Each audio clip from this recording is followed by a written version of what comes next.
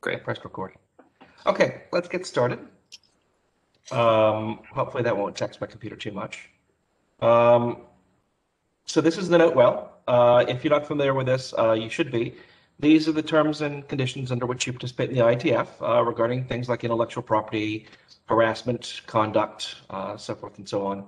Uh, we do take it seriously. If you have any issues, uh, please contact Tommy and I, your chairs, uh, or any questions. Uh, and and if we can't resolve it for you, we can point you to the right person for that, whether it's the Ombudsman's team or uh, the area director or whoever else. Uh, so let's look at the agenda, which means I have to press buttons.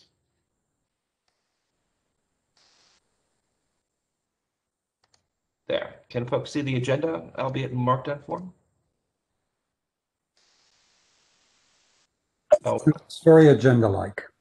okay. I have to probably have to unshare the web browser, maybe. There we go. Um, so today we're going to talk just about the active extension drafts. Uh, so start with prioritization, then signatures, then digest, then the cookie bis, uh, then H2 bis, and then finally BCP 56 bis. Does anybody have any bashing for the agenda? I actually have, might add one 30 second item, which is a quick update on cache status and proxy status, if that's okay. That's Um, okay with me. okay. We have time. Great, thank you. Um, and we need folks, before I forget, to fill out the blue sheets, uh, which is also linked here. If you could just go to that page, which does have the correct date in it, and now I'm wondering why I didn't update that one as well. Um, you can add your name and your affiliation, so we have a record of who, of who's attended. Uh, We'll also take a snapshot of the, the Zoom list, but, uh, it'd be really helpful if you could put your name in there as well. Um, okay, well, I think we can go ahead and, and, and move along then. Yeah, just First, maybe a quick note before we jump into that. Um, Sure. Saw that we now have official RFCs for both uh, structured headers and client hints. So thank you to everyone who worked on those and glad to get those finally stamped up. yes, it took a little while. Okay, uh, so first up, Lucas, uh, you want to take it away with prioritization? I would love to. Can you hear me okay? Yep, you don't have slides, correct? Uh, not for this one. It's a tale of two spec presentations for me today. Um, so on the priorities draft, uh, we are at zero open issues. Uh, Kazuho and I put a draft 03 out uh, early January um, and sent an email to the group to advertise that, uh, closing out those issues. And so we haven't really heard anything back from that. So I think we're in a good place. Um, I haven't heard much from people who have actually like tried priorities out and and give any feedback but given how we simplified the scheme and that we've addressed the kind of the tension with the signaling i i think we're at a good place um you know speaking personally uh, for hb3 we have the ability to prioritize according to that scheme but uh, we're not yet in a place where that's rolled out for any large scale experimentation. I'm aware of Chrome, say, sending that frame. Um, but yeah, I I think we welcome input as long as it's not on any anything that we've already covered and closed out. There was quite a lot of discussion around the summer autumn time trying to get through some of the, maybe the philosophical side of the prioritization. Um, we've tried our best to reflect that discussion into considerations for implementers without getting bogged down with giving specific advice to you know this is how you should do it where we know that probably won't work for the certain kinds of implementations who might want to consider this scheme. So yeah i, I don't really have anything more to say on it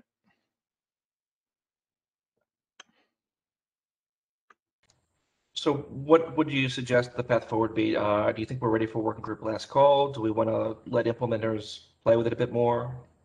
Where do you see this going? I, I, I don't know. I think I, I'd like to say, let's go for a last call, and then and then see if anything comes back during that process. If we get some more review, um, and then yeah, let's see how it goes. But I'll, I'll take the chair steer here because like that we we had priorities go wrong before, and I don't want to rush something into the into the RFC process that we might find isn't okay. My my hope and my belief is that won't be the case because it's simplified, but um, you know, the some of this uh, backporting to H2 might be a bit trickier, but H3 is now, you know, almost close to done as well, and we're going to see more stable, mature rollouts of of QUIC and H3. So my my feeling is that maybe people might look towards more of the performance angle here, and then realize that okay, we we need to try this out now. Um, Okay. so I, Um, I don't know if it, Sure. I, I, I, you know, at one point in the past, there was some, some sense of urgency around getting this shipped. I, I don't think we're in that place right now, though. I think if we wanted to let this get some implementation experience, we could let it sit for a while, correct?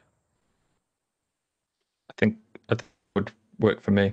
Um, I, I haven't seen anyone saying like in the last year that we, we really have to get this done. Okay. Yeah. Seeing implementation results would be very helpful. Um, it does look like we have Alan in the queue. So if he wants to speak up. Yeah, I was just, I guess I was wondering, what has there been much interop on it at all, or I mean, I know we have an implementation and we are starting to do some experiments with it, but uh, that's within our own apps and and servers. But I'm just curious. So you said we haven't heard much from implementers, but could you give a little more color? Yeah, I, mean, the, my my experience is effectively channeled through the uh, you know the QUIC interop work that we do. So looking at some of the multiplexing angles of stuff, um, maybe doing hackathons. It's not you know a, a, a conclusive demonstration. I think part of the the difficulty there is even like the the interop tests for H3 compared to the QUIC transport layer are uh, uh, slim, um, I would say, and so uh, trying to design tests for this is is tricky. It's a quite you know subjective and, and manual process. Um, I'd, I'd happily work with anyone who's got some bright ideas on doing this or some effort. Like I think that's what I've been lacking at the moment is is any time to kind of really drive that and uh, encourage people to to try things out. Um, so if if people want to help and get involved, then um, please get in touch. Thanks. Looks like uh, Bence is also in the queue. Hi, my name is Bence Béky. I work for Google. Um, I just wanted to give a quick, quick heads up about the uh, implementation status in terms of H2 and H3, both uh, Google servers and uh, in terms of Chrome.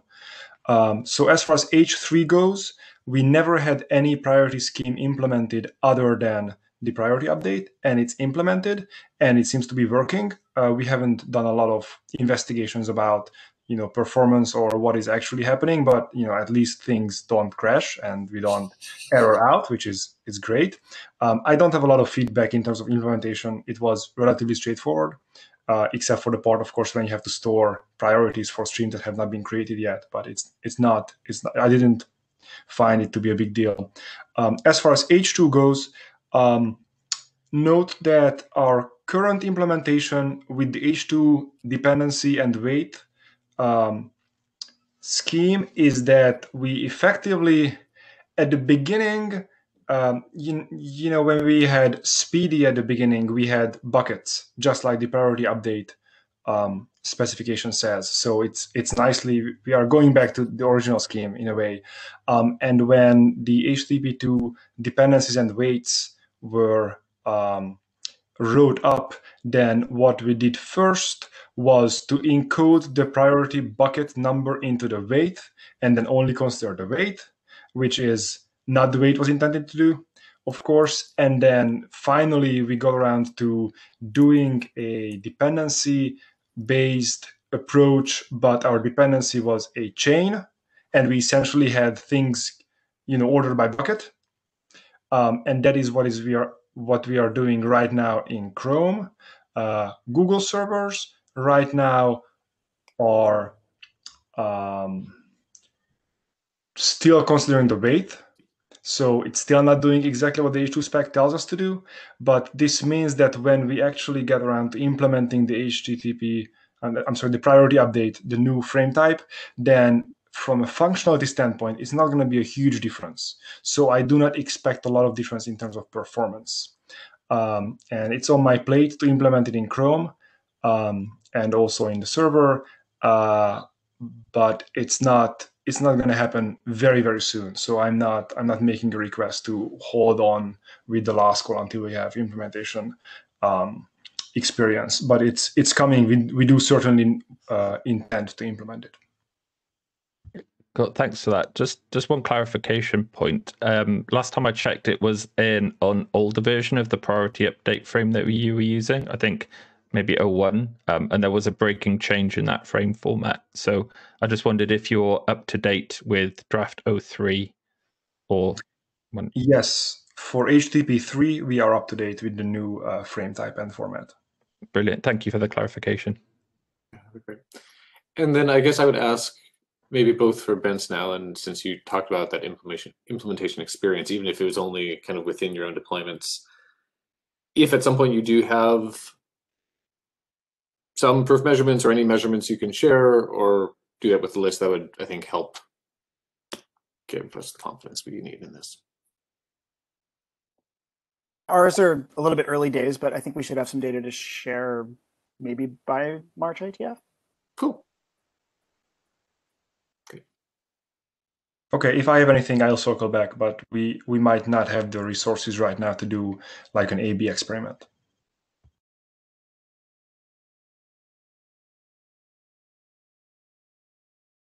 Great. Um, any other comments or input on the prioritization draft?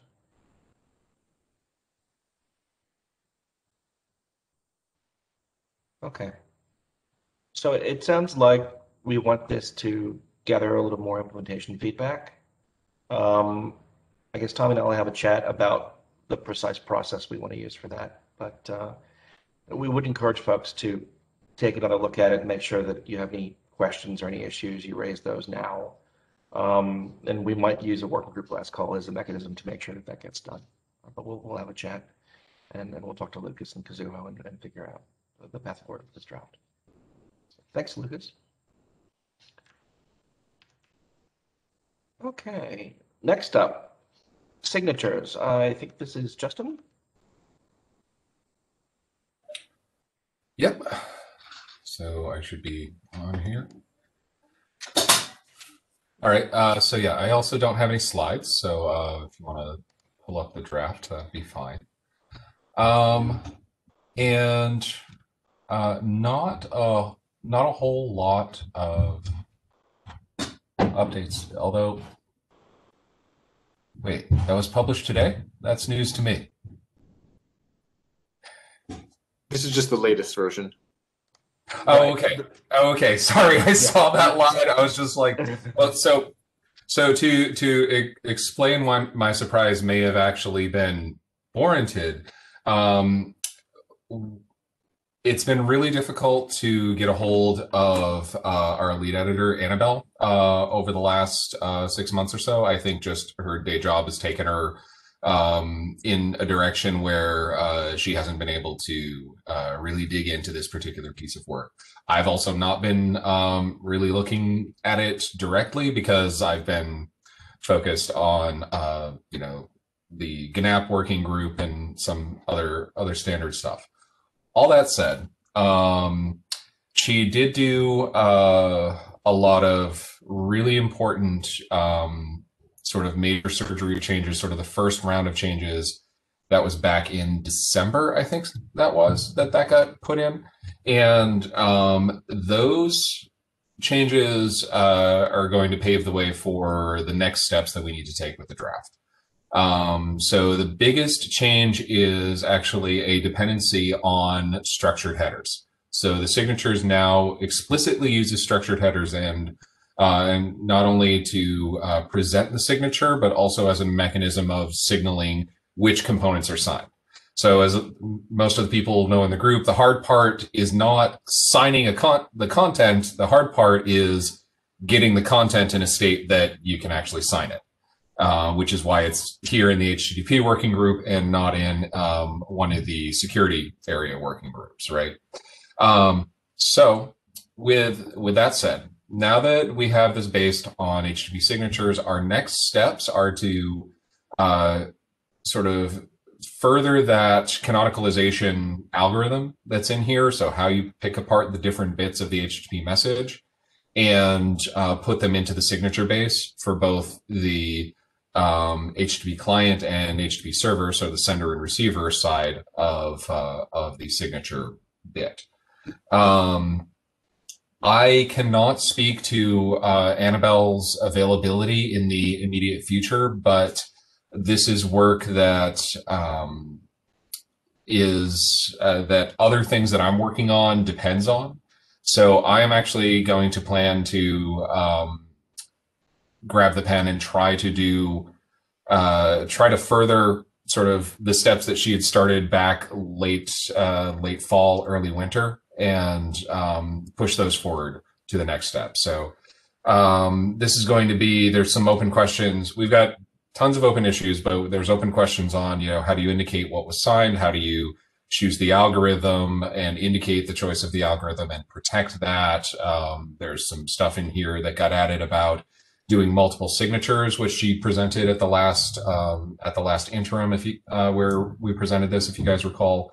Um, all of that's good stuff. It's all very very rough in there right now, and um, and it just it it needs a lot of fit and finish um, for for it to be really usable.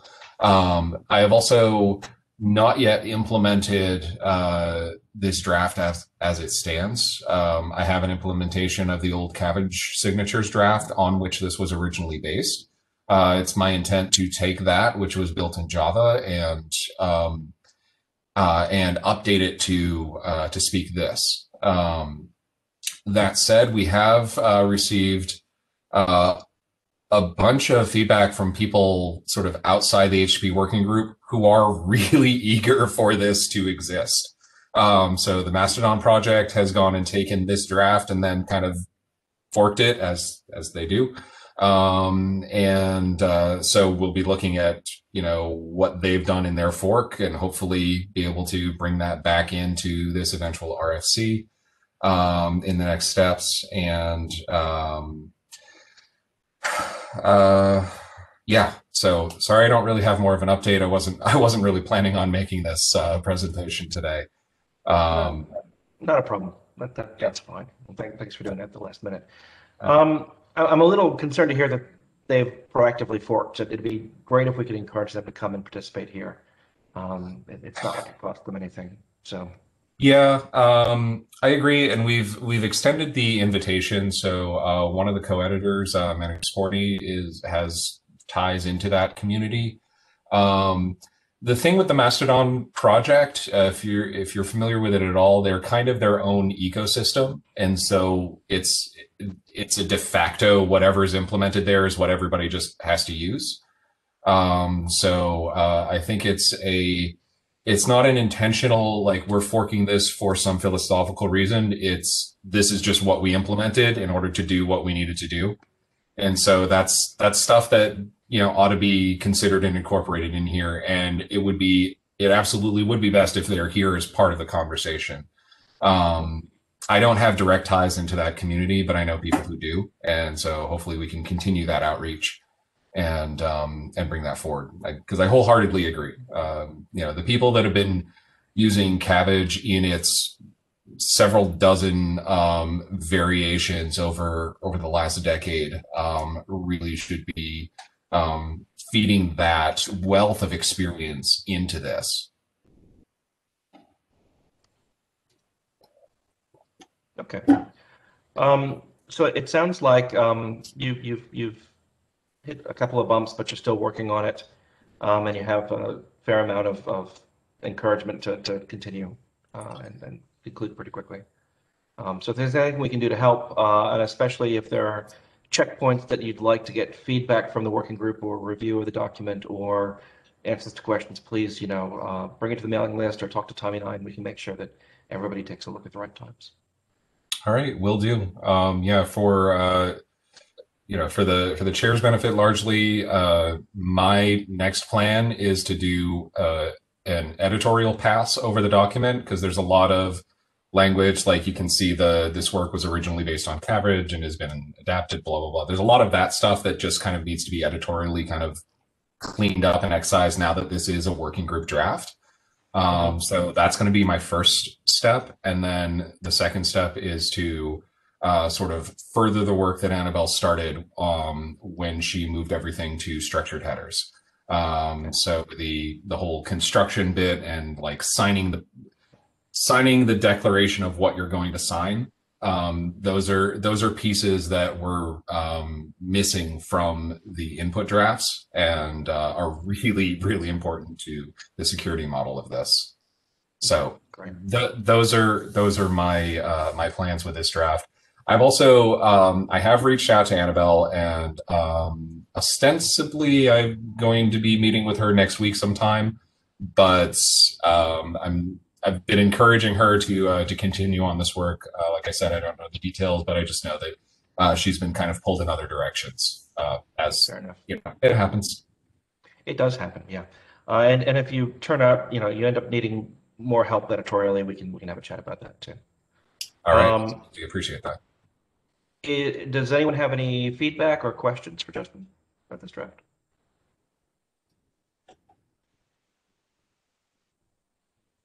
Okay. Thank you so much. All right, thank you guys. Okay. Um, so before we go on, uh, it occurred to me we probably need to make one more announcement, which is that uh, we are having a change of area director. Not quite yet. At the next IETF, uh, we'll, we'll have a new area director. Uh, and so uh, I'd like to thank Barry, uh, who's been our area director on and off for the last, what is it now, 15 years, something like that. Um, uh, it, it's been a pleasure working with you, Barry. Um, thank you. And also to welcome, uh, Barry, can you actually, do you have a camera? Which people know what you look, there you are. Camera, hi. And uh, Hi. it's been a pleasure working with you guys too. I'll miss you. Yep. But I'll be around. And our new area director is Francesca, uh, if I hope I'm saying that correctly, uh, who will be uh, officially taking over at the IETF meeting in March. So hello and welcome. Thank you, thank you. Looking forward to it. Lovely. Okay. So next up, we have Digest. And I believe we do have a presentation for that. Lucas? Yes, you Yes, should have it in, in your GitHub repo. I do. I'm just doing magic with, with WebEx. Black magic. Mm.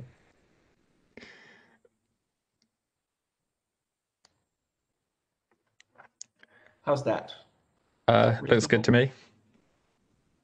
Um, so, yeah, uh, ideally Roberto would have been presenting here uh, because he's kind of taking point on um, some of the digest stuff that I'll be talking about today. He couldn't make it. Um, that's life. So I'll do my best job of channeling um, his expertise in the area. But please do forgive me if I get caught up in the right terms for payloads and representations and whatnot. Uh, so this is digest headers, the replacement of RFC 3230. If we could go on to the next slide, please. Um, the last time we presented was back in October, and we went through a few issues. Since then, um, it, what we've been working on is mainly editorial stuff uh, that's been sitting in the editor's copy. We haven't pushed a new update out uh, because we wanted to try and push on on some of the more designy aspects. Um, so I wanted to say thanks to to the folks that have given us review, especially Julian, who's come in and given like a really deep analysis of some things, um, and uh, even Sean's popping up recently to to kind of poke holes in our IANA process. So that's all really appreciated at this stage. Um, and we encourage people to keep doing that, and we'll try and address those things as as quickly as possible. Um, uh, and if anyone cares, you can click that link, and it'll show you the current diff between the editor's copy and what the last draft was. Oh, uh, I mean, the the talk always looks pretty bad, um, but here it's it's mainly you know hyperlinks to things, uh, going through the examples, making sure those are properly formatted, all the good stuff that we like to see. Um, there's probably still nits and problems with them. Um, I mean, on the face of it, those things look a bit like a structured header, but they're sadly not, and the ship sailed on that point. Um, but uh, that that's it. Uh, so it does look like a lot of change, but I, I'd say none of it is super substantial. Um, but yeah, if we could go on to the um, back to the slides and, and talk about the things that kind of matter here. Uh, we, have got two issues that we could use some input on. Um, the first of those is the one that's really a sticking point, I'd say, for us. So um, this is all about digests and requests. Uh, oh, uh, yeah, let's just go on to the next slide and I'll try and explain what that means. Um, so the digest header can be used in requests and responses. Um, and to understand what that means, kind of a bit of historical context might help here for people not super familiar. So RFC 3230, it was called Instance Digest, but kind of ignore the instance stuff.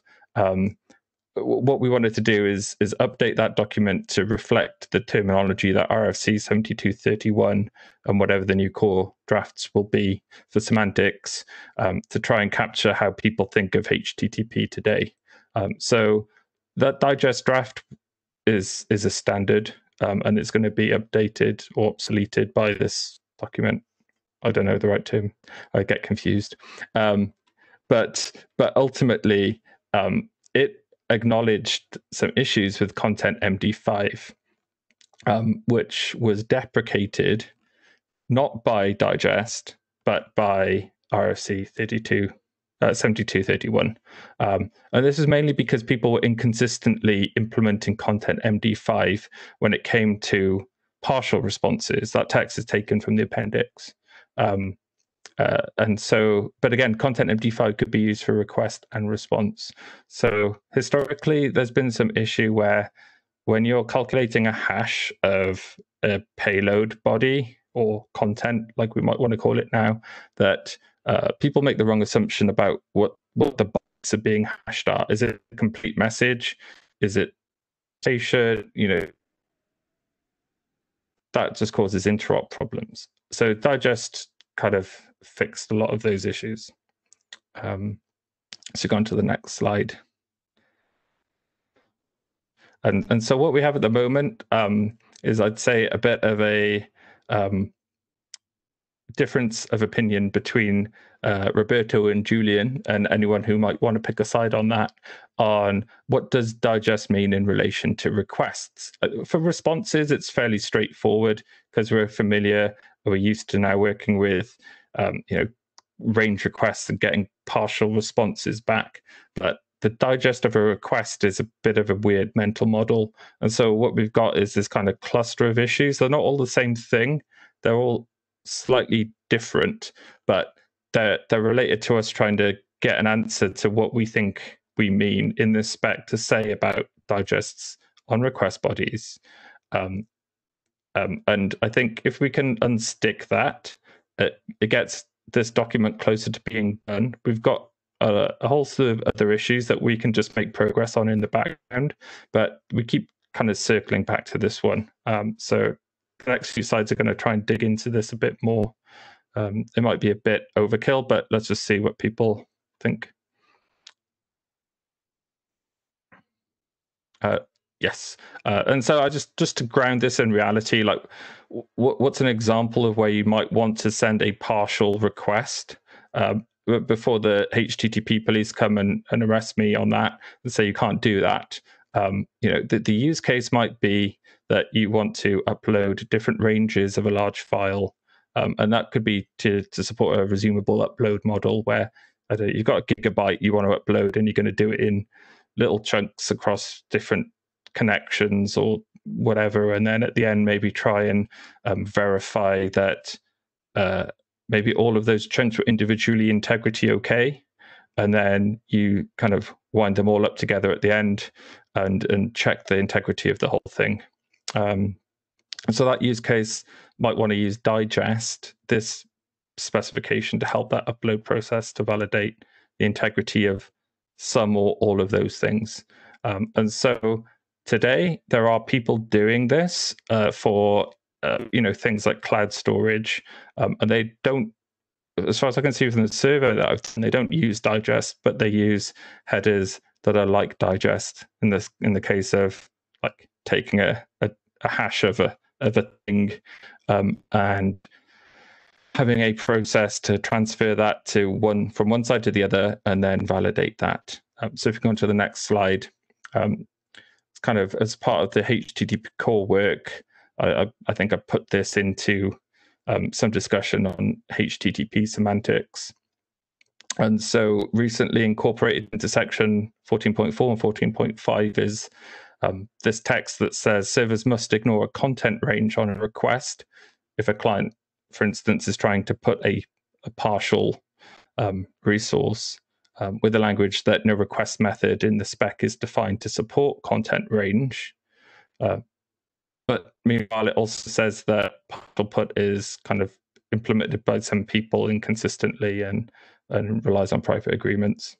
Um, so it's th- this kind of helps in a way because until now we didn't have anything in semantics that acknowledged what was happening.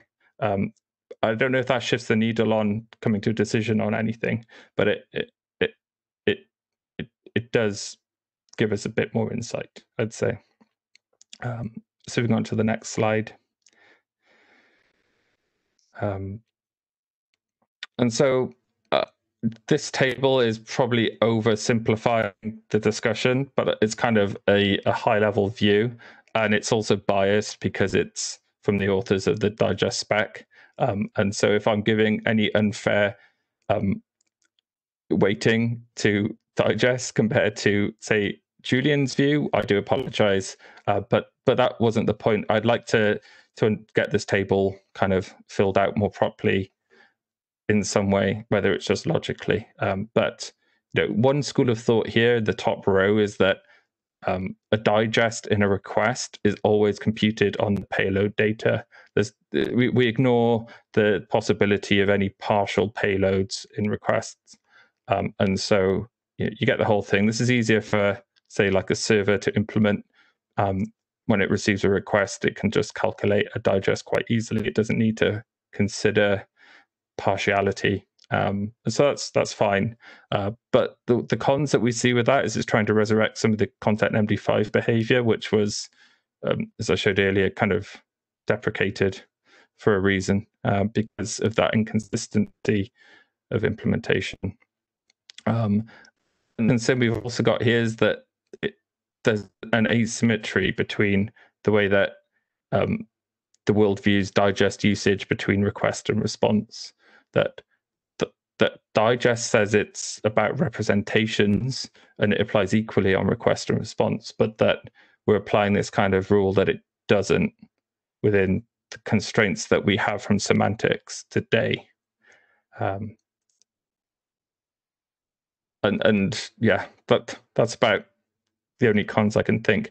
That I don't know if we can get over them because of the rules that like the corner we've painted ourselves into, but but that's how we see it. Um, if we look at representation data, maybe to put it into contrast, um, the pros that we we believe that if we apply the rules similarly to requests to allow partial requests, um, that we maintain the intent that RFC 3230 had.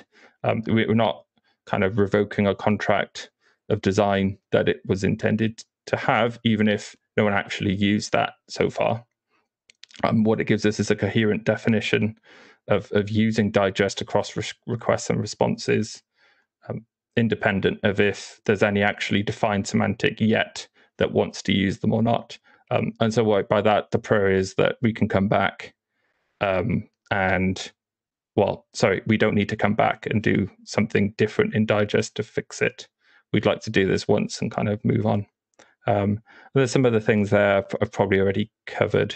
Uh, there is a con here that um, you know, in, intermediaries that implement digest for a partial request would need to be able to distinguish that and maybe they they can't based on the surveys that we've done and and the language and semantics. Um, and I, you know, I don't know how we get over that one. Um, so next slide, please. Um, there's a lot to digest there, and I, I fully appreciate people aren't like probably that closely tracking this. Um, and I think that's par- par- partially why we, are getting stuck on thing. Oh, very funny, Jeffrey. Thanks.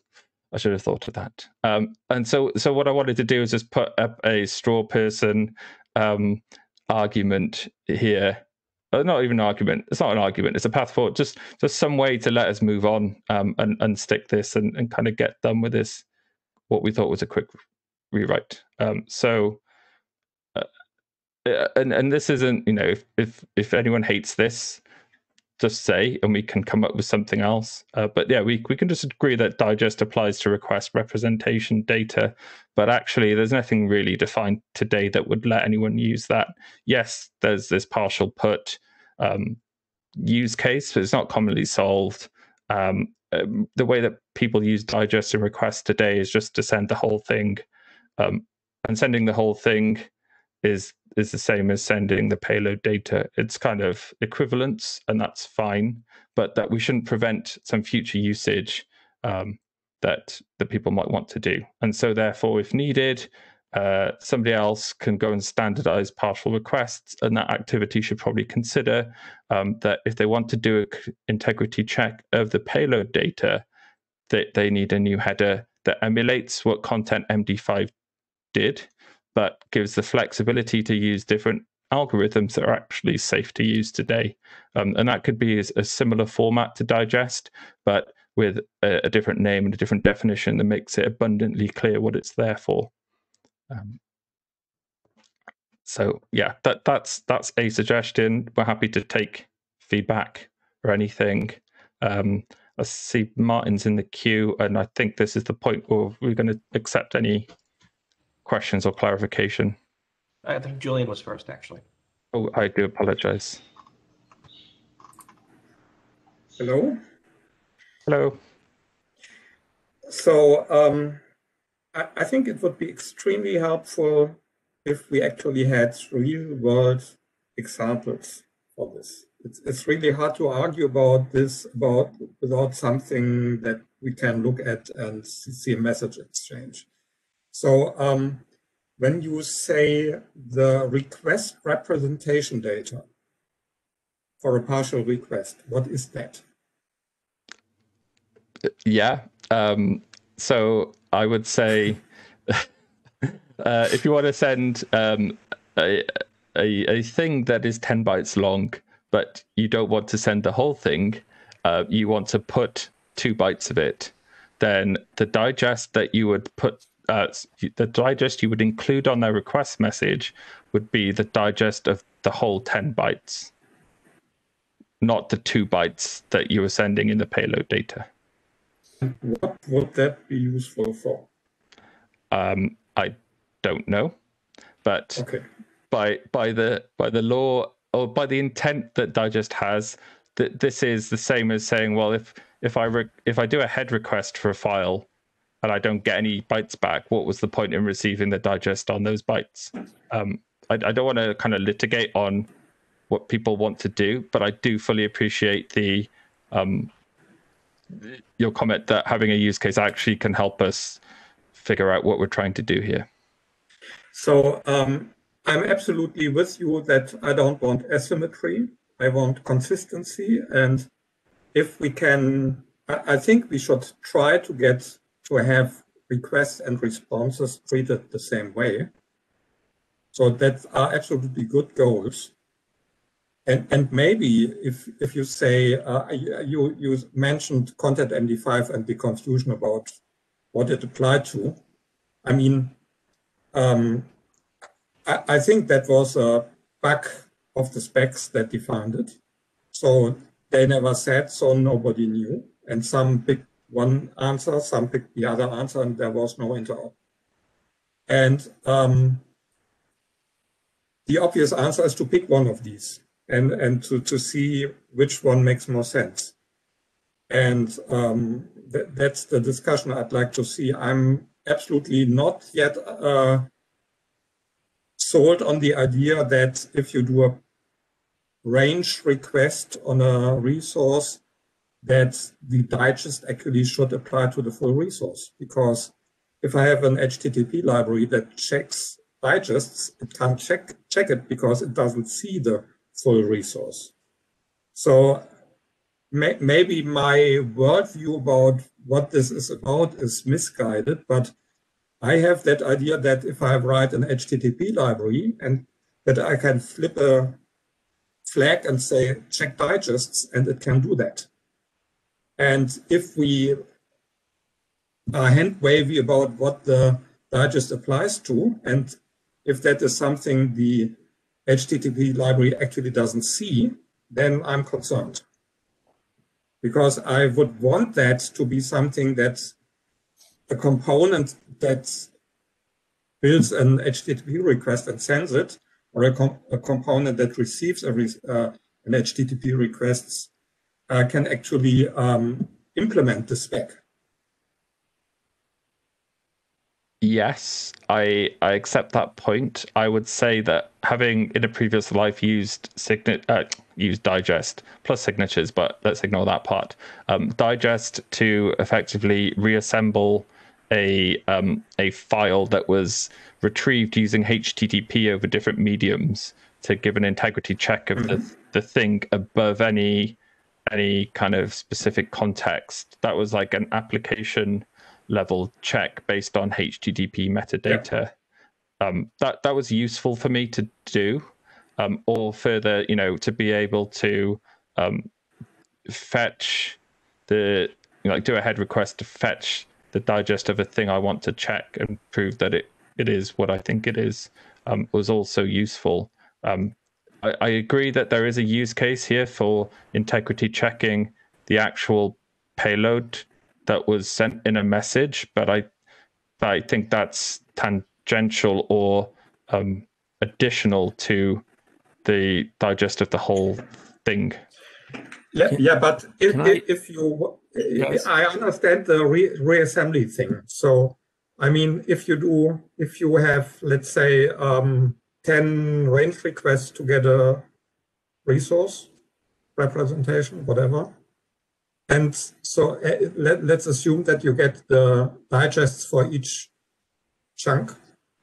And then if you want to see whether what you reassembled is the correct thing, you can always do an head without a range and will get the um, the digest for the full resource and you can check it locally.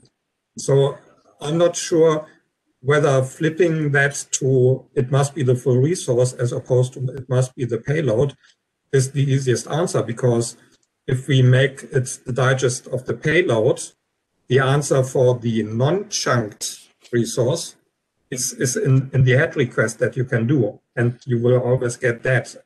And we don't need two, two different things to send over the wire, two different header fields also.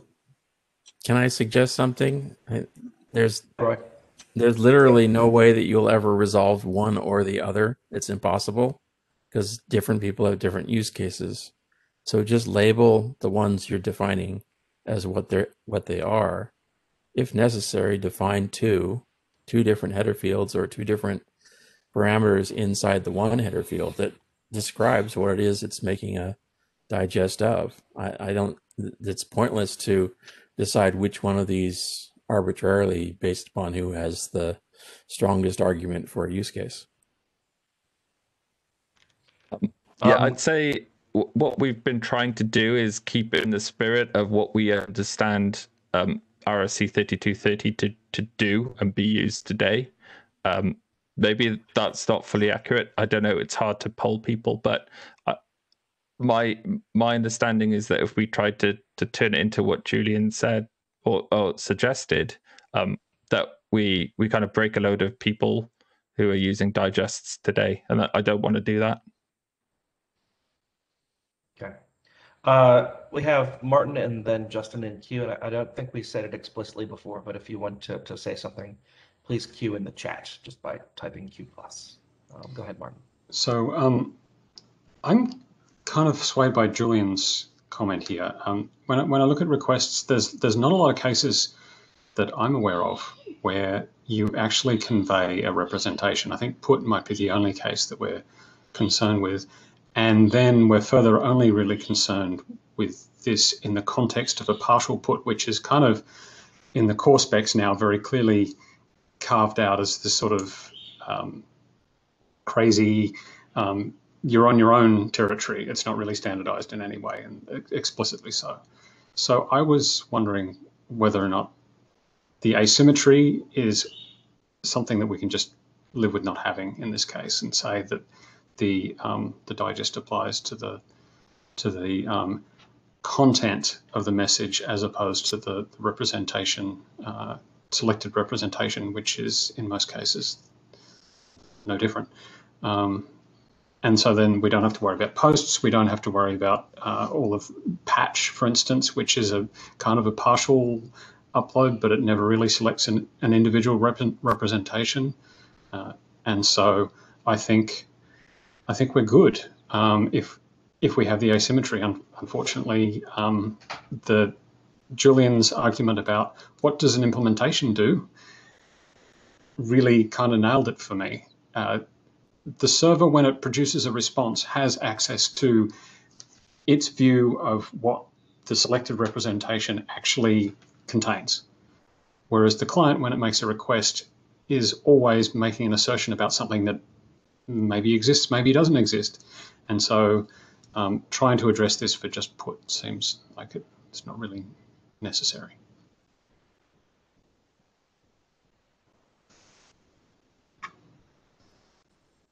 Justin? Okay, so um, as somebody who is very interested in using this spec as part of the whole signature stack, this is this is where we want to uh, get um, protection of uh, of body on put and post requests most specifically. Could be used on responses, but my use cases are largely uh, driven by protecting the requests. And um, in these cases, the uh, it kind of boils down to the the semantic differentiation between this you know this partial representation versus representation. Uh, honestly, it just it kind of doesn't make a lot of sense from um, a developer perspective. Now, this might be because I'm still uh, a bit on the outside of all of the depth of HTTP semantics, and I understand why we're going in. Uh, we are using those to define um, this new version of this spec, and you know it's important to align. That said, uh, reading the new version of the spec, I got to the end of it without really understanding am I supposed to just take this byte array that I have and chuck that through the hash function? Or is there something that I need to do to it first?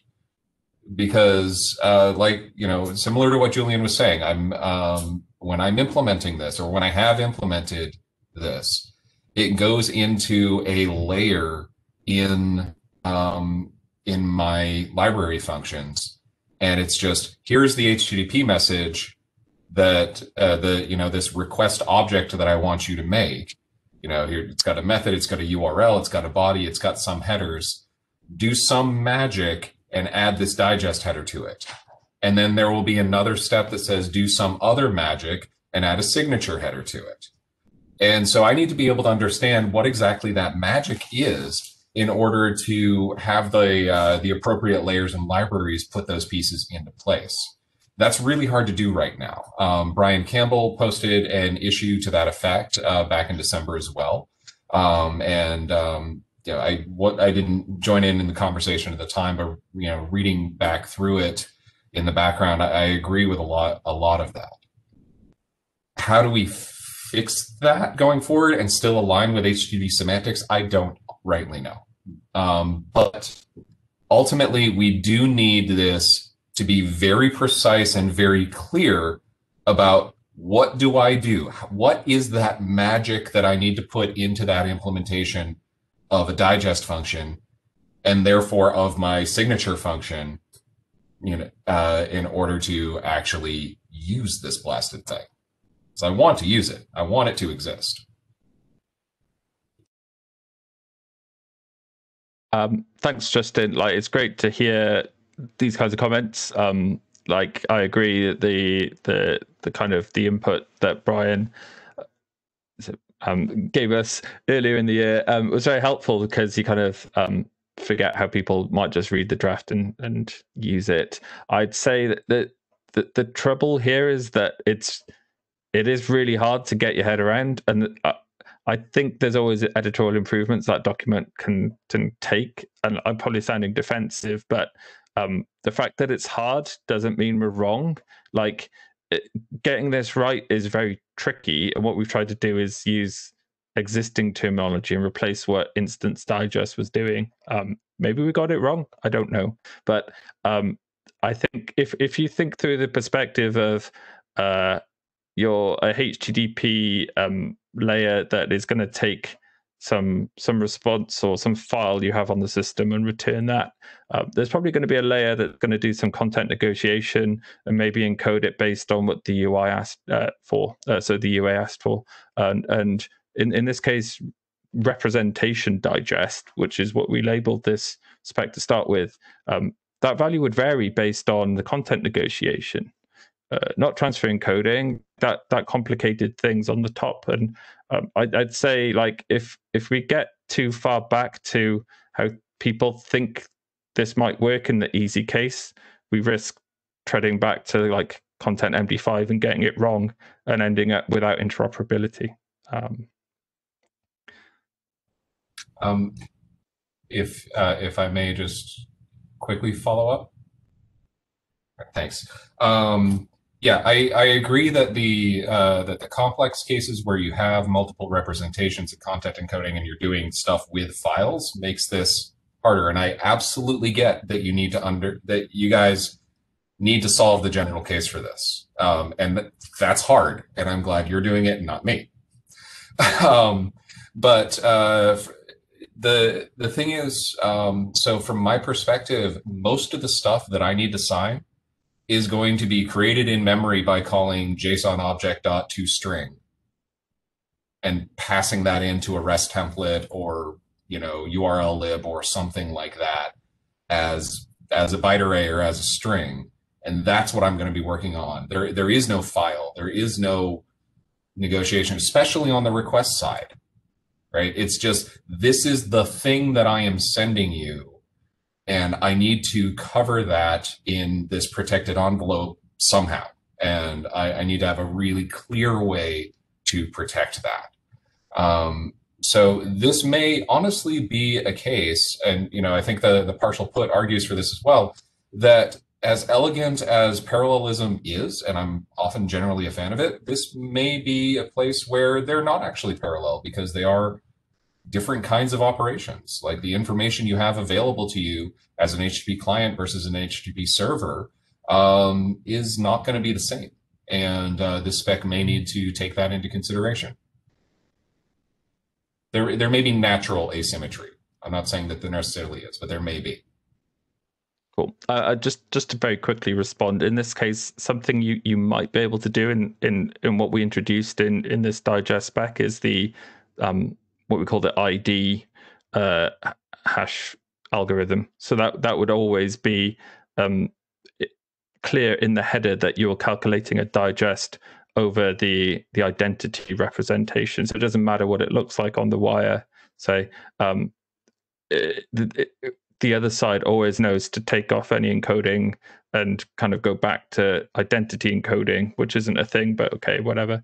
Um, and, and then do the validation on that, um, which can help mitigate some of these issues. But but uh, absolutely, thanks thanks for the feedback. Um, and if there's any specific suggestions you have on how we can make things clearer, like please please um, do them while they're fresh in your head.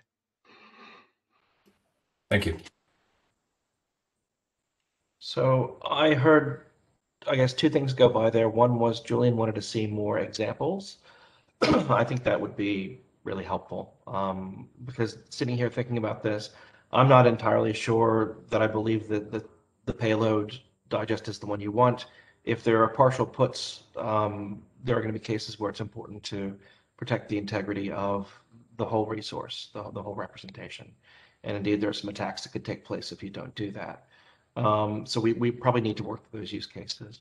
And, and Roy made the suggestion in chat, which I'll just make sure people see, which was maybe we need two headers, one for digest and one for content digest. And, and that might be something to consider. Yeah, and and that that's something that's that's kind of come up in the GitHub discussion as well. My question to the chairs or the working group would be: Do we feel that that's something that has to be done as part of this digest work, or is that something that could be done um, separately?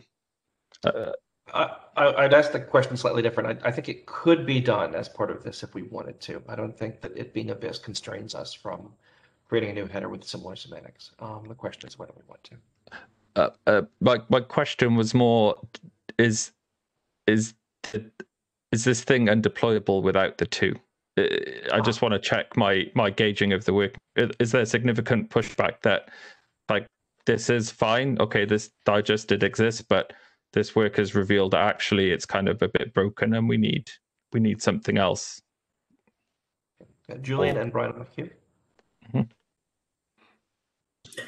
So, um, if I understand correctly, the way this spec was born was uh, by the wish to fix the old digest spec to be consistent with current specs and so on. And um, maybe we need to realize that the way that spec was written itself in itself was so ambiguous that um, we can't fix it without breaking somebody's implementation. So maybe uh, a better approach would be actually to say we are guided, inspired, whatever by this old RFC, but we are ready to, to we don't need to be compatible with it. We just define different header fields and try to get those right instead of trying to be compatible with something that as far as I understand, doesn't work in practice. But um, I mean, I hear about implementations using digest, but um, do they really exist? Are they widely deployed? Is that a private agreement between a specific server and a specific library? I have no idea. So I think we need to test the assumption that being compatible with that spec in some way is necessary. Thanks, Julian. Uh, we've got Brian, and I think we need to wrap this up. We're, we're a little bit over time. We do have some slop in the schedule, but we need to move on pretty soon. Yeah, I, I just wanted to follow up. I'm not even sure exactly how to express it, but for for the sort of regular person that might come to this, I, I would ask again that even if it is made to be um, the not the body, the, the potential parcel representation. If if the digest spec could be more clear and declarative about when and where one can understand what the actual content being fed into the digest is, it would be really helpful. And I, I understand there's a new semantics document. I understand this is a rewrite of that. But I'm and I'm I'm not deep into HTTP, but when I came into this, it it was um, very, very difficult to grok what the expectation of the, the digest header was. And thinking about that as it would be applied to some kind of signature scheme where I believe most people's expectations is similar to what, what Justin described, like a signature over the message itself. And I'm not necessarily suggesting that it be something else, but at least being clear in the in the document for for regular people to be able to consume when that is and isn't the case and even possible would be super helpful. Um, I know that's not super actionable because I'm asking you to describe it for me because I don't understand it, but um, I, I, don't think I'm alone in the world of people that won't instantly grok this, and it, it would be, yeah, it would be really helpful. And more examples would also be helpful, but I came to, to the issued repository trying to understand it and running across the that then actually weren't a digest of what was in the example. So making sure those are done, added and done correctly would be also helpful. Um, sorry, that was kind of rambling, but No, no, Brian. Like, th- thanks for um, reaching out and actually engaging here. The examples is unfortunate. We broke that. That was due to kind of a classic reformatting and flowing um, activity. But like, I am very sympathetic that this is hard to just come to and say, "Oh, there's this header. I need to figure out how to validate it or how to produce it." Like, I, I really would like to make things more accessible, but I think like I don't want to have to describe all of semantics. Like there's there's a big draft that does all of this, and I, am willing to to work on that, but um, it is tricky, and we. I, I get it. I recognize that too. Um, so maybe maybe and maybe I'm asking too much. I don't know, but you know, at least getting being specific about the areas of semantics that are relevant, how they might impact it, um, at least getting the links um, you know, there's some broken links right now in the references that, that makes it all that harder to try to backtrack and figure out where things are going on. Getting working examples, um, yeah, it would. I get it. I'm. I, those are just areas of feedback that I think would be would be really useful. Um, and I think it uh, potentially another header that does more of just a dumb payload digest would be useful, but I, I I'm not sure it's even strictly necessary if if if we can kind of get to understanding when and when not this is applicable to the kind of use cases we've been looking at. Um, yeah, sorry, again, not very actionable. Uh, thank, thanks for reading and commenting. That's all I can say. genuinely, genuinely, it's appreciated.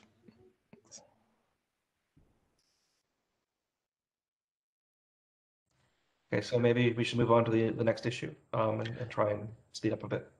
Uh, if we've got time, otherwise I can I can probably skip this one if if it helps you. Um, I don't think we're time constrained, so if you can do it, but just in like five minutes, maybe. Absolutely. Yep. So next slide. Uh, yeah. Okay, so so this is a completely different thing to like how how do you calculate whatever based on weird semantics no one can find the terms for uh, instead this is issue 1377 which is uh, how to deal with old algorithms so what we we currently have is uh, an IANA table that's out there and existing. Um, and the digest draft we have today wants to change some of that. So I, I don't want to like put the whole table here, but to give a summary, uh, what we're going to do to that table is alongside the algorithm listing name, create a column that has a status um, to indicate, you know, that actually a lot of the algorithms that are there, that they're not defined by digest, but they they are used in digest to calculate the digest, but that we are kind of saying they're all don't use them. Uh, but like you can see here, we've got different statuses. We have standard, uh, deprecated, uh, obsoleted, and a special obsoleted. Like there's not a consistency in in the IANA table that we would make out of this document. And personally, I don't think that really helps much. Um, we have had um, questions about, oh well, you know, should should we stop recommending MD5? Yeah, well, great, we can. Um, but what about Unix? Um, like it was inconsistent. Like I'm not saying Or we're not saying Unix sum here is better than MD5. They, they're probably all broken. The people who who might use um, MD5 classically wanted something that was more secure and a stronger hashing algorithm, but it busted. And maybe you could argue that maybe they were using it in a context um, that they thought it was better than Unix sum. But I don't know. It's it's kind of lots of what ifs, shoulda, coulda, wouldas here. So uh, we've gone to the next slide. Um, the things we can control is that the, the statuses that we're defining or allowing in, in this document are, are really confusing. There's no pattern I can find in them. I think we've kind of organically grown based on different issues that have come up to say, oh, let's deprecate that one and obsolete this one. Um, and, coming back to this, I was just instantly confused by it.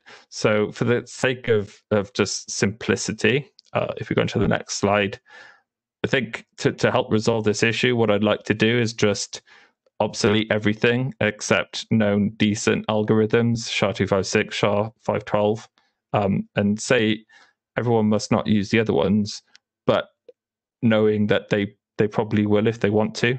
The digest spec is weird in that, say, you provide a digest header on a response for a thing. There's no requirement to do anything with that. You the, the, the server could provide three different digest values with different algorithms that don't match um, when they're they're verified and and there's like the existing language is pretty loose and again if we change that we risk not reflecting reality or breaking older um, implementation. So so my suggestion is just to make things simple for people reading the spec to say i shouldn't use those things. Okay understood. Um, and that's that's it on this issue. I wonder what people think about that proposal, um, and if if they think it's okay, then I will um, land the PR to do that. Mark, you're in queue. So I, I queued. Um, yeah, every IANA registry deals with this problem. Um, you you are not alone. Uh, the I, I, think this is a fine approach. It's it, keep it simple. Just two different statuses is great. The only thing I'd say is you might want to consider using deprecated rather than obsoleted because obsoleted has special meaning in the IETF process. Um, but, but no strong feeling about that. Makes sense. Um, that's cool. The, the one question I've got here is that our designated expert, um, I think James Manja, I might have got the name wrong there, um, and their role in the um, modification of IANA, where they, they've they've interacted a bit on the GitHub issues in the past, but um, it's been a bit quiet, and I wonder kind of how much toe treading we might be doing here. But we could probably resolve that off off list. So, so the management of you know when we're revising the R- RFC, the management of the registry is the pleasure of the working group in terms of the policy applied. Um, and we can have a discussion about that, whether designated expert is still the right approach or not, if we want to. I might want to talk about how um, we enable it to be managed on GitHub rather than the other processes, but that's neither here nor there. Um, the the expert themselves, and it can be one or more people, is designated by the area director. And if we, we feel like we need an area uh, expert, we can talk to the area director about that, or we can talk to James. James is still around. Uh, he still participates in IETF stuff. He's just quiet sometimes. So, but we can we can talk about that. So a quick question. I'm not too um, um, sure about all the dynamics around this. Sorry, sorry. Mar- Martin was in queue next. Okay, all right. Sorry about that. Let's use the chat for queue management. Thank you. Oh, okay, sure. Martin? So um, the TLS working group sort of already trodden this ground. Um, they have a recommended yes or no column. Maybe that's the way we can deal with this if you want a different way to spell it. Um, but I think this is the right thing to do. The fact that we had told people not to use MD5, but were perfectly okay with Unix sum was bizarre to my my understanding. Uh, and this this matches the sorts of uses that we're seeing from people nowadays. Uh, the sort of things that Justin and, and Brian have been talking about doing here really does depend on a cryptographic um, hash. So I think this is the right the right outcome here.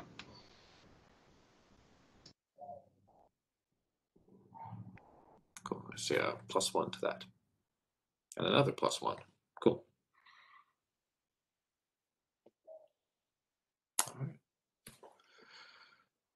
Um, okay. So, did you want to comment? Yes. So, um, as I said, I'm not too uh, sure uh, if I understood the whole dynamics around this um, digesting, but I know uh, Git uses SHA-1 hashes, right, for their whole tree structure and all, right? Git version control system. Yeah, that's true. They use SHA-1. Yeah, and and also in web archiving world, we have been using SHA-1 hashes for like for last two decades plus, basically. Every time we archive a page, um, we create SHA-1 hash and shove it in the in the work record there, basically. Um, and I don't see that listed here, at least not in the standard part of it. Is it SHA is SHA-1? Yeah, SHA is SHA-1, and Okay, uh, and the it is- reasons that we wouldn't recommend that uh, uh, are abundant. Uh, I think that the, those people who are, who are using it still because they have legacy um, need need to be, be very careful about how they use the the algorithm. But if it is just an integrity check, it's still actually okay. Uh, Yeah, but the that's the difference here is what we're trying to recommend it uh, for use And if you're using SHA, uh, for instance, as a key in order to find things and you're worried about collisions, then it's totally not appropriate to do that if you have any adversarial um, content involved. Well, yeah, I mean, in in in Git, they they use it both for uh, integrity and it also kind of indexes the data, and they generally don't find.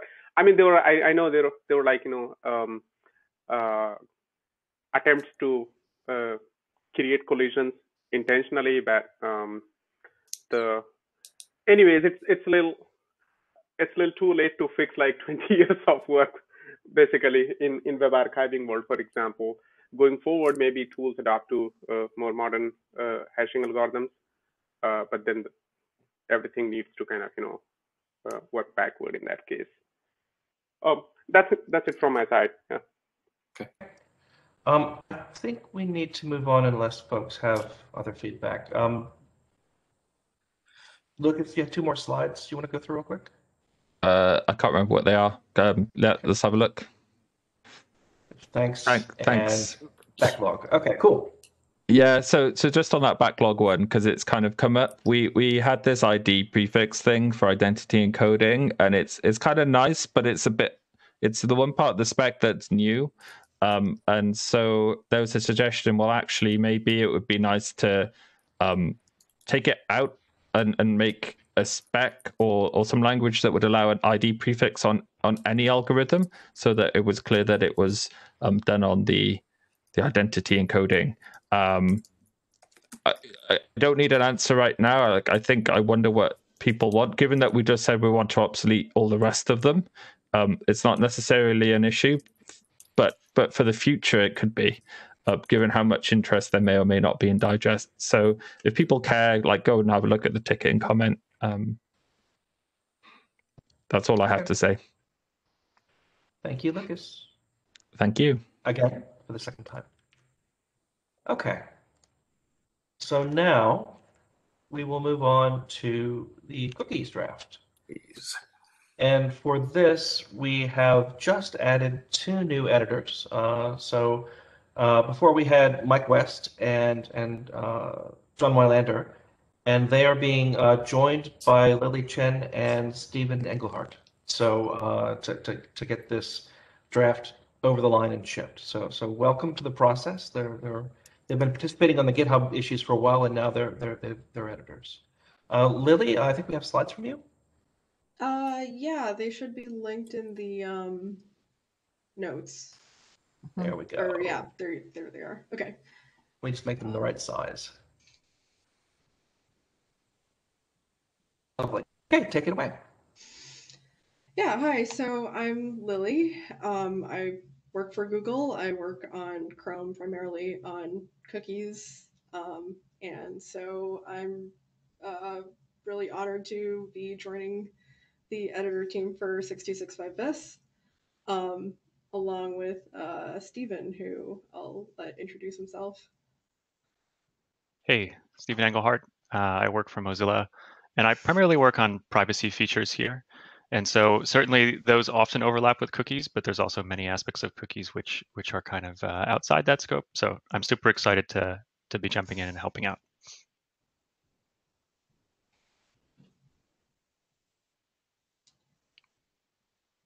Um, next slide, I guess. Yeah, and I can kind of give a, a, a brief overview of where we're at right now. So we have 29 open issues. Um, and there's a bunch that we think are not really in scope in scope for this initial uh, or for, for the work that we'd like to complete. And I think these fall into to some categories that basically either uh, lack consensus or they need more work. And it's things like the future of cookies and will you still have access and, and like specifying how how uh, access to third-party cookies will look in the various implementers. And I think that's something that's just we don't have consensus around yet. Um, also in that zone are kind of some proposals for changes to security mechanisms. I think that that needs more work.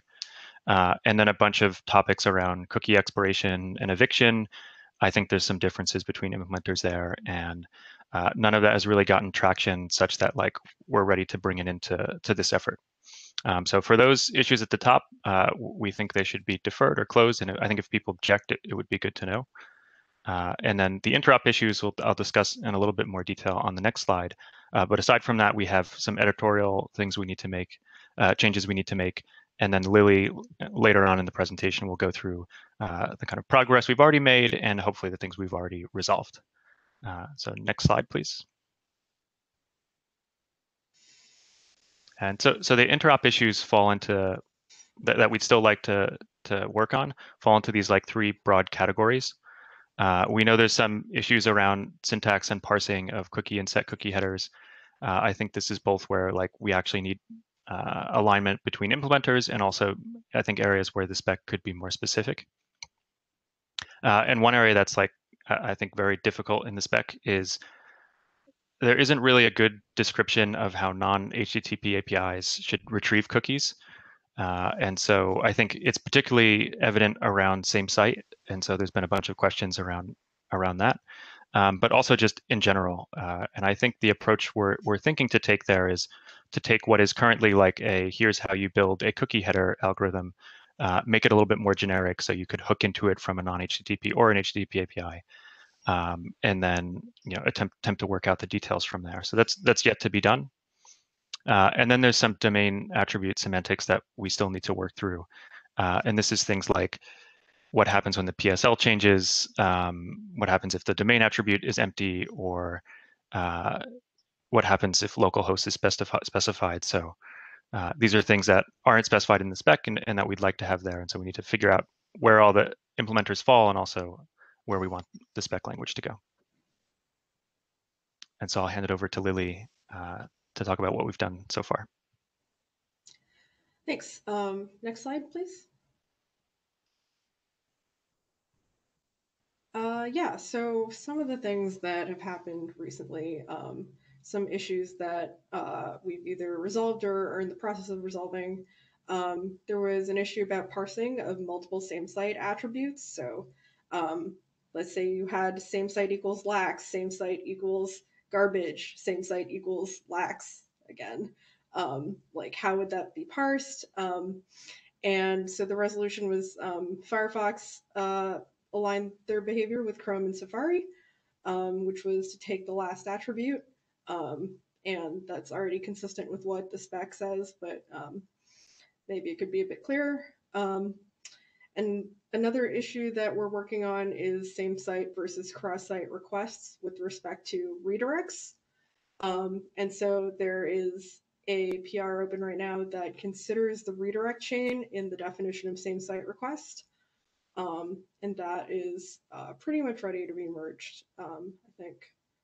Um, and then another issue is same site versus cross site requests with respect to reload requests. Um, and there's also an open PR to address that, um, which defines different behavior for a reload request that is initiated by um, a user agent's uh, UI interface.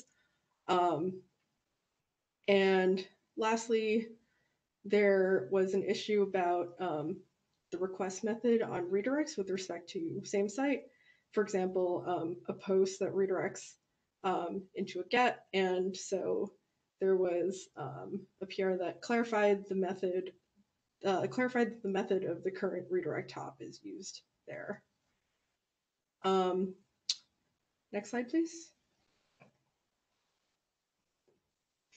And then also since the last interim meeting, um, we had a call for adoption for sections 3.1 to 3.3 of the cookie incrementalism ID. Um, and there was strong support for that. So thank you to everyone who gave feedback on that thread. Um, and we ended up merging in three sections of the cookie incrementalism draft into 6265 bis, which were treating cookies as same site equals lax by default, um, requiring secure for same site equals none, and um, introducing schemeful same site cookies. Uh, next slide, please. Um, and then lastly, just to give an update on the web platform tests, um, thank, thanks to Mike Taylor, um, rewrite of the HTTP state test suite, um, originally by Abarth, is complete. Um, and so there are new tests um, for each of the cookie attributes, um, and you can see the results from um, a recent run on wpt.fyi. Um, so the old tests never really worked, um, and the new tests work now. so uh, thanks again to Mike. And I believe that's it.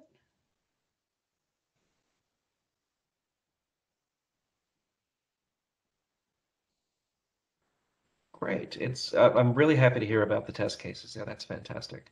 Um, so it's it's good to hear that it seems like this this draft is uh, picking up some steam.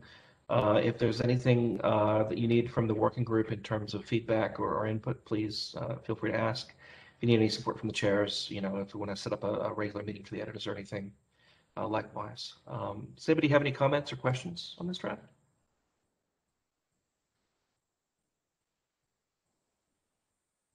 Okay. Well, once again, welcome. Okay, uh, next up we have H2BIS, which is Martin Thomson. That would be me. Oh, you did it again. Oh, you you have to prepare yourself for many more. Uh, the legacy of Mr. Bishop, yes. All right, go for it. Yeah. So um, not a lot to report here. The next slide has the details. Uh, we submitted a new version of the draft. It has many business in it. Uh, too many. Um, but probably the, the good news is that uh, Cory is joining me to help on the work, and we've already made some pretty good progress on some of the editorial things that are coming there. Probably the big thing that we're working on right now is making sure that the text lines up with the changes to the semantics uh, terminology, and so we're working through that at the moment.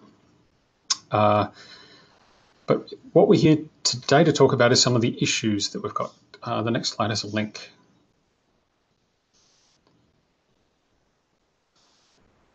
That's where we're going.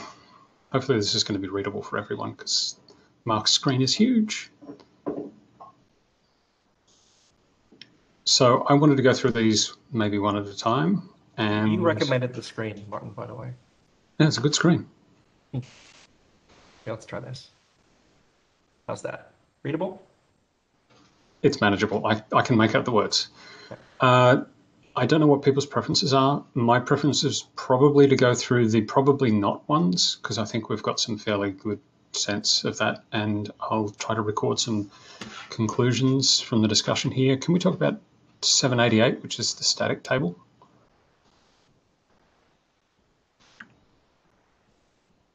I don't think anyone ever wanted to do this. Uh, and so if anyone wants to speak up for doing this, which by the way requ requires that we revise HPACK as well as HTTP2, um, then speak your piece. This implies a lot of other things. Probably it's a bad one to have picked first. Um, but I think I think we're in a position to, to close this one.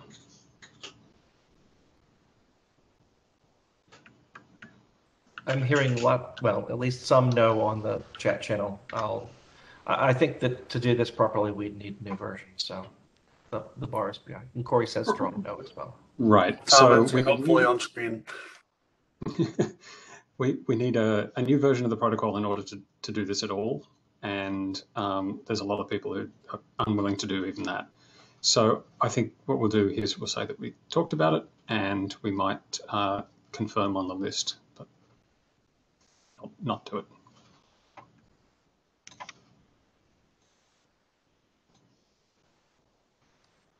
That seems reasonable. Yeah. I'm gonna I'm gonna go ahead and close the issue with this though. Okay, great. 787 is a similar one. Uh, people were talking about incompatible changes, but I haven't seen any of the issues that we've talked about uh, requiring of one. And this one was a little more mixed.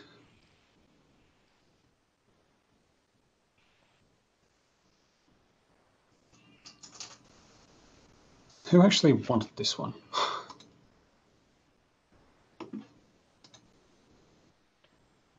I, I, I'd almost Ian rather was the I think Ian was the standard bearer for this. That's correct.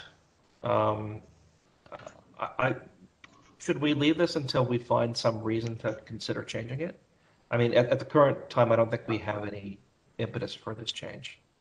Um, Right. but if Ian wants to bring something to the to the group for consideration, we can talk about that, and that might trigger a new AP, ALPN version. But I think the bar for doing this, based on the way we charted this and the discussion to date, is, is relatively high. Roy brings up in the chat, you know, should we address this at the end other than now? And to some degree, yeah, you can't answer this. I mean, I, I don't think we should spend any time on this. Like whatever whatever we need to do in the GitHub issue to say nope unless something crazy changes, let's do that. Yeah, my, my sense here is that we haven't discovered the reason yet, but if we do, then I guess the option is always available to us. Okay. Uh, cut server push. Yeah. Wow. There are some people who really want to do this.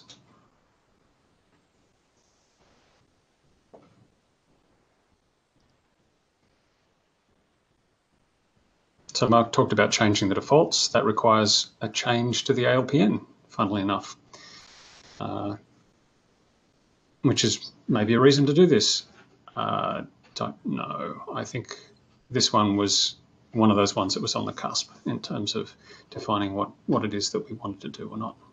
Well, um, no, what I suggested was to send settings enable push zero by default and then making it an extension. That was my suggestion. Yeah, which is essentially what um, what Cory suggests in the comment there. It would hmm. require a new ALPN in order to have it be the default. But a lot of implementations can send that themselves on their own cognizance anyway. So, so we could say you should send it unless you really need it. That would Unless you really need that would be just what people do anyway. Exactly. Yeah. Those Yeah, ones I- are.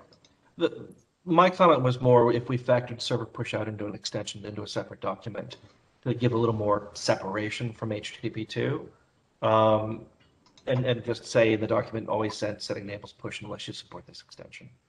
Um, but I, I'm, I'm aware that that would cause some editorial work. I, I think that's all it would do, frankly. I'm, I'm not enthusiastic about doing that. Um, just looking through the text here real quick.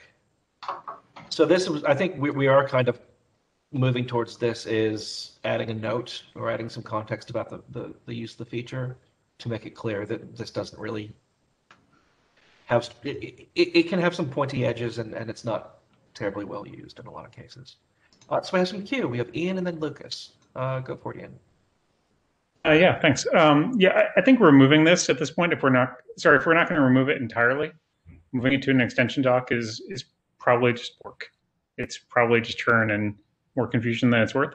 Um, you know, I, I think I think adding some notes um, and maybe uh, you know there are notes both in, in the context of APIs that are typically available in web browsers, i.e., not a particularly rich set, um, as well as notes about the pointiness of, of use and caching limitations and such that we've kind of learned since it was originally launched um, would be hugely helpful. Um, you know, so I I think, and and the fact that it may not be supported by all clients, I, I think, I think calling out all those things would be would be helpful and kind of add the context that we've gained since it was originally added. Lucas? Uh, I'll I'll just agree with some of Ian's points there. That like pointing out that the APIs and the tooling and the debugging of push is like pretty bad might might help something. Getting that text right is probably difficult, but I'm happy to review stuff there. But the the bigger point I wanted to say is I think I agree with um, Martin's comment about the editorial work required for this. I, I, it seems ingrained in the state machine. And so by extracting out into an extension, just the busy work required to redraw that state machine and get it right, like it already has some bugs in it that I've seen have been addressed by Martin and Cory. So I, I, I don't see the point. I'm not against recommending to default disable it or whatever, but I, I'd say leave it in this document personally. Eric. I think default disabling it would be totally reasonable. Just anecdotally, whether we're talking about inside a browser or outside a browser, I'm not seeing hardly anybody using it, um, at least on Apple platforms. So we, we can talk about disabling it. We can do a ton of editorial work or very little editorial work. Um, but it seems like the the much of the chicken and egg problem of getting it deployed has sailed, and so the the longer we keep it around, the the more we're extending that maintenance work forever. But if we just say, you know, should say should send the setting for don't use it, and people just turn it off, then the only cost is there's extra text in the spec. Um, Mike Bishop's in the queue next, but I want to insert a clarification. I believe that when we're talking about defaulting to uh, not to, to not sending it, uh, what we mean is by is explicitly sending the setting with a value of zero, uh, because changing the default in in the true meaning of changing a default would require a new ALPN, and I don't think we're talking about that. Um, if anybody disagrees with that, please say so. But that's where I think we're at. Mike, go ahead. No, I I think it's totally reasonable to say you should disable it unless you support it. That's just clear announcement of your feature set. Um, Akamai uses it. We do see some benefit, but it's small, and I know a lot of people are not able to use it successfully. So, yeah, but um, let's default it to off and move on. Okay. Um, I'm happy to work on a PR for that because uh, I've written a lot about pushing the past, martin if you'd like. That would be that would be really good. I, I can write the same sort of thing, but uh, if you have Yeah. the context, that'd be great. Yeah. Okay. Any other feedback on this issue? This was always going to be the hard one. So Yeah. that's Oh, good. that's all right. Uh, let- let's. We can probably make an editorial issue rather than c- carry on here. Because it sounds like the resolution is going to be editorial.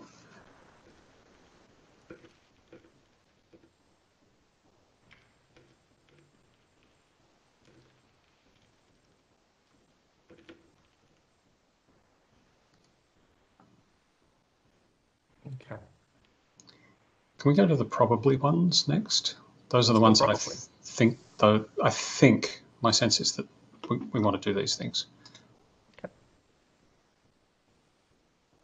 So 790, uh, Lucas suggests that uh, we provide some more advice about how to design new fields to take bene- the benefit of compression. And we probably want to look at structured fields here as well in terms of describing the, the, the rules here. Um, So my only concern here is where we can put it, where it'll actually get read. it won't get read. It's in a damned RFC. Yeah. Well, would this go in HBAC or, or in H2BIS or somewhere else? I think we could make this go in H, H2BIS easily enough. It's there's a whole section on doing fields, so we could talk about that, but it's, it's a bit weird, yeah. Um, my only, I guess my only other concern is explaining this in a way that's actually usable takes a fair amount of text. And do we really want to add that much text to the spec? It's a good point. Maybe an appendix? Hmm. Yeah, I don't know. Um, I'm happy to go and try and condense that blog entry and see if it's usable. Um, and it'd have to be much less narrative than the current log entry is, I think. Right. So I think the, the main the main consideration here is um, simply having using the comma separator for individual pieces and and making sure that you are able to reuse those pieces. But um, that could only be a couple of paragraphs if if you want to go that far. I don't know. Maybe Lucas can propose some text. Lucas, go ahead. Uh, yeah, I just want to clarify. This is like one of those classic drive-by comments when I was just like flicking through the spec and, and saw this weird section on cookie crumbling that I, I kind of always forget about and then read. And uh, I'd recently read Mark's blog, like so it was all in my head at the time. I don't even remember creating this issue, so I think like I could probably live without anything being done. But it's an opportunity to maybe help guide people who are doing things. I don't know when you're defining a a field? Are you really reading a version specific document? Uh, probably not. I don't know. Is it? I, I, I, I struggle to put this in core. Though that's probably where it should go because that's where the advice for new headers is. Yeah, that, that suggests to me that maybe we don't, um, unless we manage to get something that's really good. Can we flip this to editorial? Sure. Um, maybe I'll, I'll take a little to do of trying to condense that text into something more spec like. And then we can figure out whether we want it to live somewhere and if so, where. Does that make sense? So just just to add, then, is is this a case that we might want to extract the cookie crumbling text out as well? Maybe. Ask, does that still belong in H2? Oh, it unfortunately the the joining of multiple cookies uh, needs to remain in the spec because you use a semicolon rather than a comma, and people need to know that. Yeah. Uh, the next one I think I've already flagged as editorial. That was a misclassification. It shouldn't appear, appear here. Um, the last one is 770, which talks about frames with multiple errors. It turns out that there's a number of ways in which people can encounter errors in the formatting of frames. Maybe they're bit, maybe they're too long. Maybe they contain a stream ID that doesn't exist and should. Those sorts of things. Um, and the text says use this error for this uh, error code for this error, and use this other error code for this other error, and doesn't really provide any guidance about how to resolve conflicts where there are two different error codes that you might want to send. Um, my proposal here, I think, was to pull in some of the QUIC text that talks about error handling. Um, but that does actually require normative changes to the way that we structure the error reporting. Shouldn't affect interop, but it, it will affect how people handle their, their errors. Does anyone have any problem with making a change in this area to, to clear things up? I'd, I'd be a little wary of, of you know, it, is this an interop issue or is this just a, a someone wants deterministic behavior um, with with the errors that they get in their logs?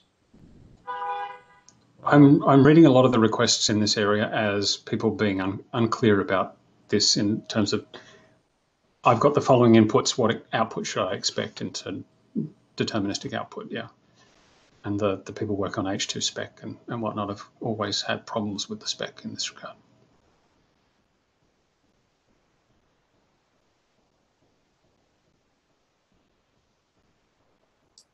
Cory's in the queue. Yeah, uh, Corey, do you want to? Um, I don't think I meaningfully disagree with Martin in a Martin's assessment here. I do want to note that the error handling text in the um, QUIC document may not necessarily be all that helpful here, not least because it explicitly says an endpoint may use any applicable error code when it detects an error condition, which doesn't necessarily help us at all.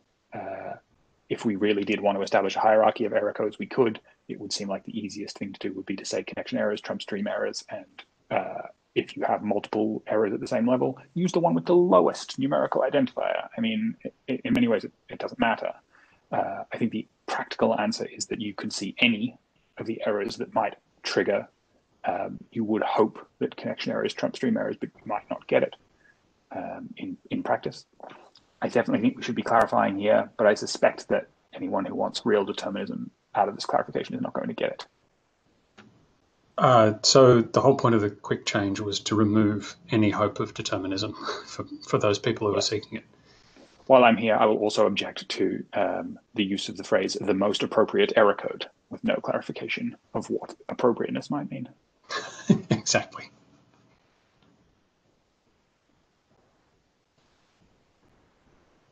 All right. I think we can probably work on something in that in that area. Okay. We'll get a pull request together and we can talk about the pull request. So now we've got a bunch of things. How much time do we have, Mark? Um, say 10 minutes, maybe? Okay. So let's see if we can do a quick pass through the things that I was unsure about.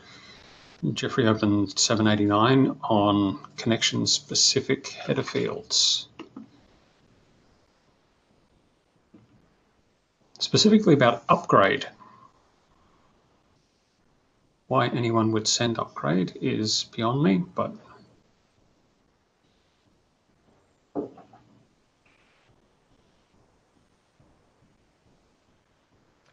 I notice now that, that Jeff, your issue says the update header field, not upgrade. Was that?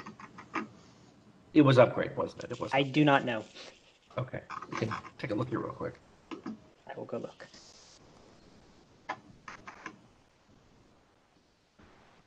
No, it was upgrade. It was It very was upgrade, specifically upgrade, yeah. Yeah, yeah, yeah. So it looks like we've got a case of uh, an intermediary acting more like a tunnel than an intermediary, and we're seeing the consequences of that.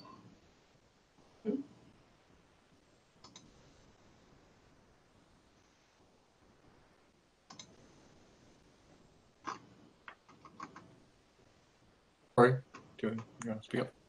Is it, is it reasonable to read Jeffrey's original issue as basically pointing out that we have specified a behavior that does not appear, the majority of browser user agents don't appear to actually implement? Do we know what the current state of the browser user agents is here? Has anyone converged on Safari's behavior since this issue was filed? And if not, I think this is the standard W working group question, which is to what extent are we required to document widespread non-conformance to specification? In this instance, I'm inclined to say it probably doesn't matter if everyone actually does accept this and the spec says you shouldn't. I mean, it's, on the client end, I don't think it, I don't think there are huge risks here, but I don't I don't know. I'm, I'm inclined to to say this is mostly a do nothing and file some bugs against implementations that don't conform. Yeah, I was thinking the same.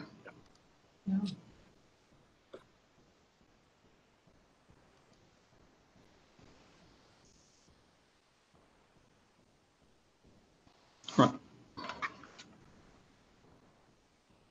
We'll leave that in the uh, do nothing box. Okay. 781.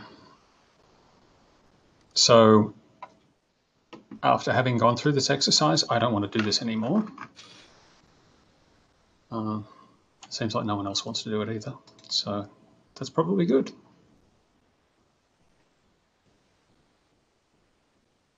So Demonstrated it's possible, but I don't think it's something that people want to do. So I think we're probably in the in the bucket of well, that'd be nice, but too much work.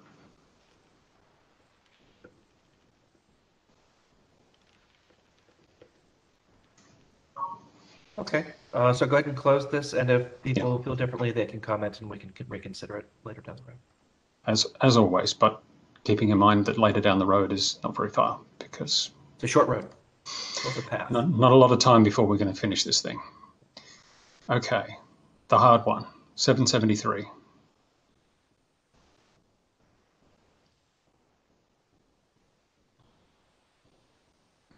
So I actually wrote a pull request on this one, which went through and articulated a proposal, and then it was pointed out to me that that wasn't in the original scope of the work that we're taking on, um, which is probably just my fault because I didn't actually check when the chairs passed that, that email by me.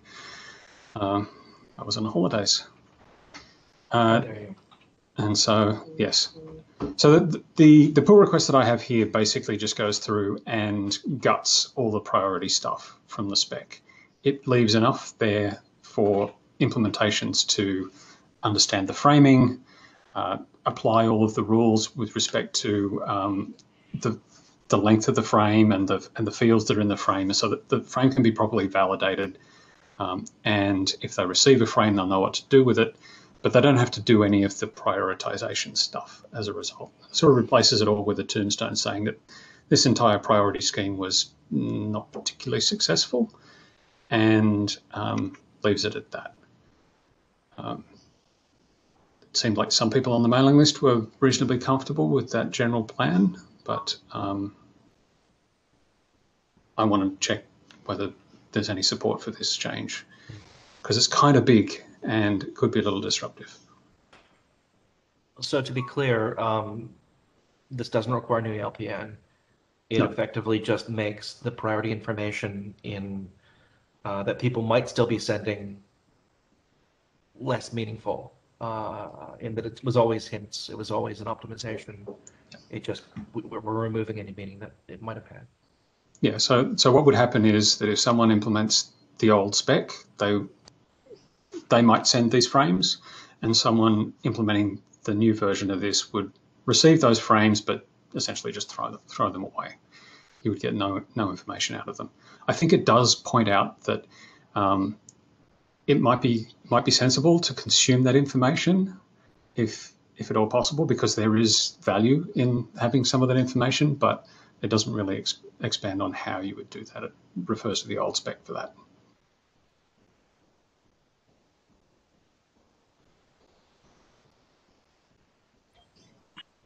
Cory.